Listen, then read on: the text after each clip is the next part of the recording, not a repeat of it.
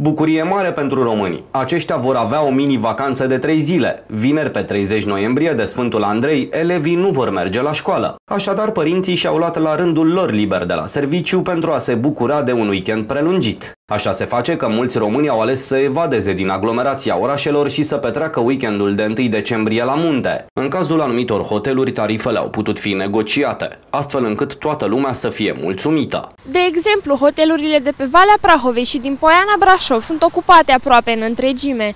Prețurile au început de la 200 de lei pe cameră pentru o noapte și au ajuns chiar și la 700 de lei într-un hotel de 5 stele. În aceste tarife este inclusă de cele mai multe ori și o masă festivă exclusivă, dar și alte surprize oferite de hotelieri pentru turiști. Reprezentanții hotelurilor au declarat că spațiile de cazare au fost rezervate și cu câteva luni în urmă. Hotelierii de pe Valea Prahovei nu au mărit prețurile pentru această mini-vacanță, însă nu putem spune acest lucru și despre cei din Alba Iulia. Aici toate hotelurile au fost rezervate și cu un an în urmă, chiar dacă prețurile au fost de patru ori mai mari.